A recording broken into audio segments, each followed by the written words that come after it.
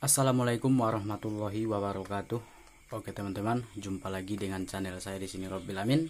Semoga kalian semua sehat-sehat selalu ya dan selalu diberikan rezeki oleh Allah Subhanahu wa taala. Amin ya rabbal alamin.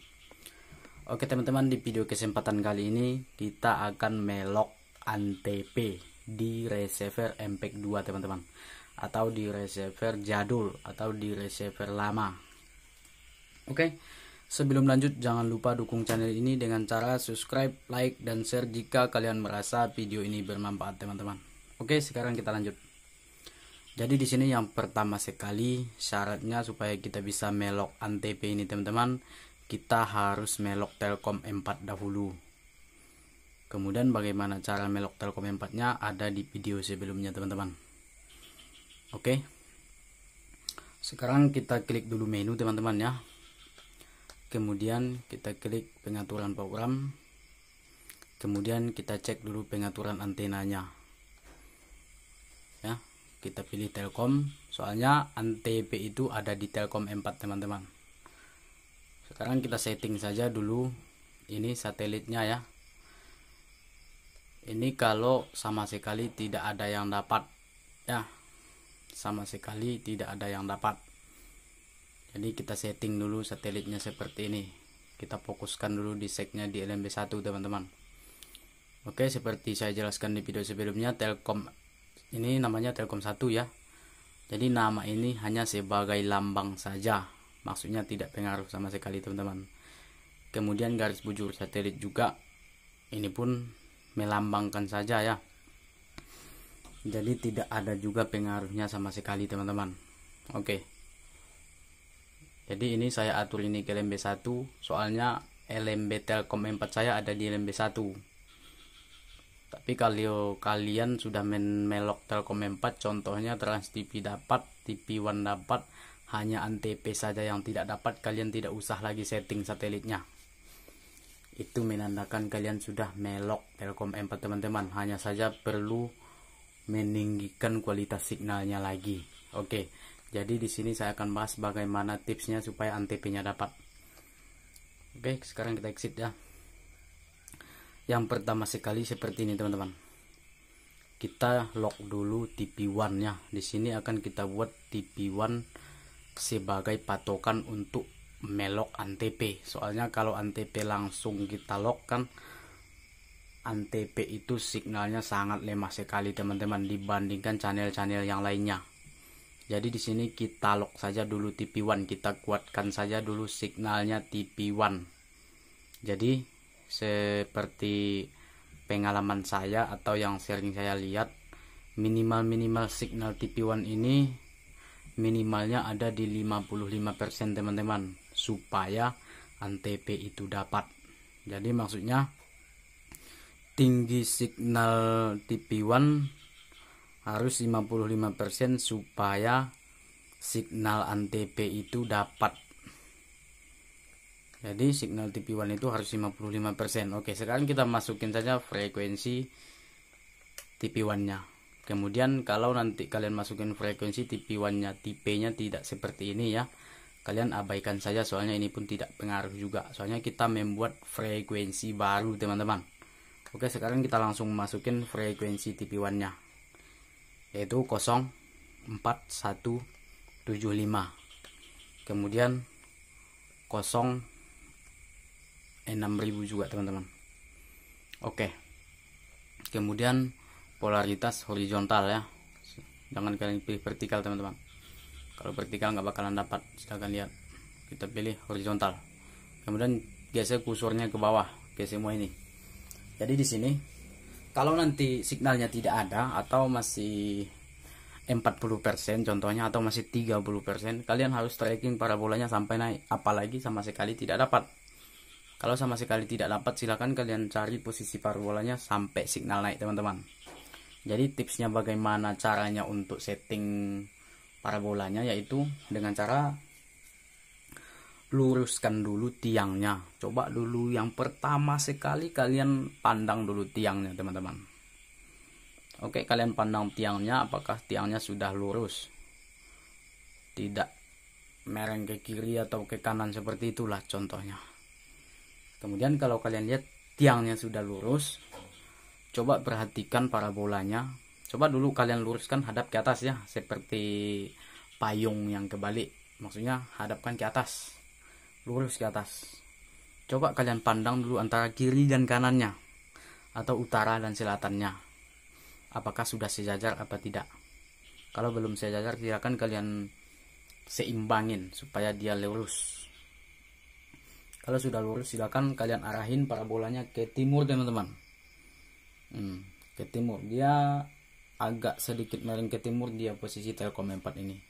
Silakan kalian naik turunkan saja sampai signal naik kemudian kalau sudah signal naik seperti ini teman-teman ya. Contohnya kalian coba cari TV One ini apakah betul-betul sudah dapat. Oke. Dan ternyata sudah dapat teman-teman ya. Sekarang kita coba klik infonya ini dia ada di 62% ini cukup tinggi sekali. Kemudian langkah selanjutnya kita coba klik menu lagi teman-teman. Kemudian pengaturan program kemudian tambah saluran. Oke di sini saya masukin langsung frekuensi antp nya jadi frekuensi antp ini nanti di tipe ini ini kan sudah 23 per 23 nah, jadi ini pun tidak pengaruh juga teman-teman ya kalian tidak usah atur yang tipenya. Kalian langsung saja masukin frekuensi antp nya 0 3850 kemudian 06000 eh sorry 06000 teman-teman. Kemudian horizontal. Kemudian geser ke semua. Oke ini dia. Ya sudah kalian lihat ya. Tadi saya mendapatkan signal di TV One sudah 60% tetapi di antp ini saya masih mendapatkannya 27 jadi kalau bisa kuat signal TP1 itu ada di 60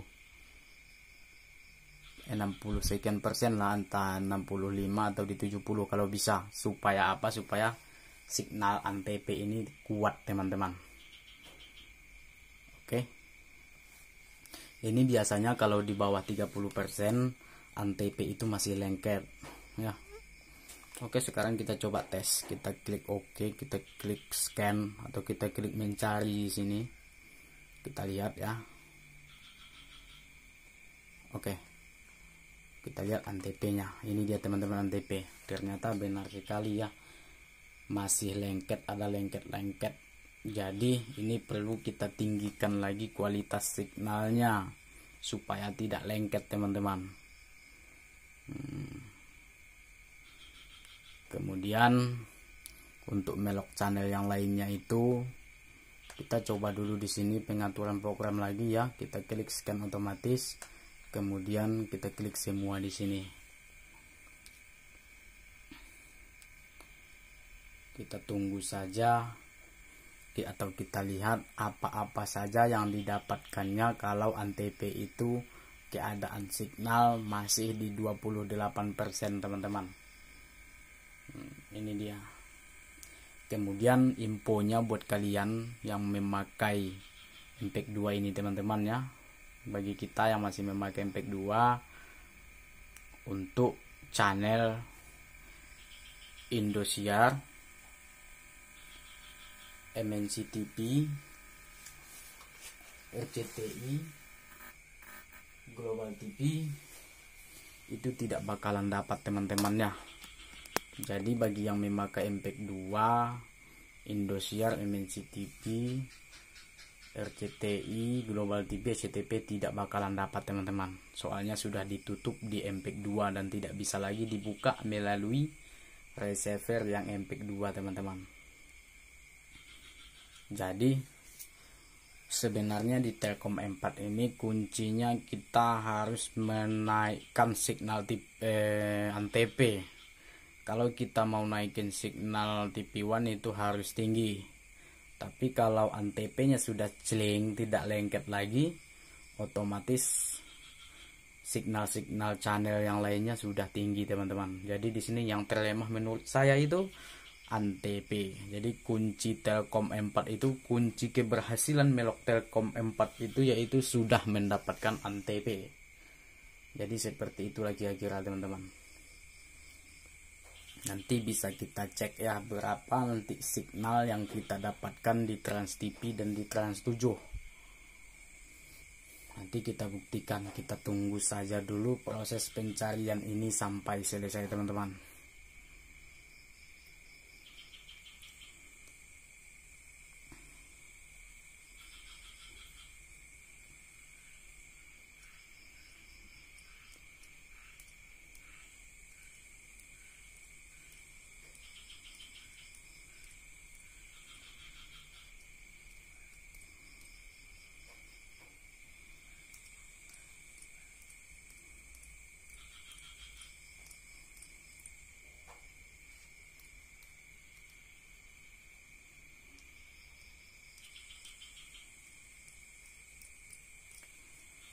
Oke kita tunggu saja proses pencariannya sampai selesai teman-teman ya. Kita lihat apa saja channel yang kita dapatkan nanti. Kemudian kita cek nanti apa signal yang paling tinggi di Telkom M4 ini melalui MPEG 2 oke pencarian sudah selesai. Sekarang kita cek dulu RTP ini teman-teman. Cek signal. Ya kalian lihat ya 78% jadi kalau kita melok Telkom 4 ini kita bikin patokan di, ini di TPN 1 ini atau di RTP ini kita sudah mendapatkan 78 sementara ANTP nya masih lengket. Jadi kalau kalian bikin patokan nanti di RTP ini kalian harus memaksimalkan signalnya minimal-minimalnya di 85% teman-teman supaya ANTP nya keluar itu pun belum tentu.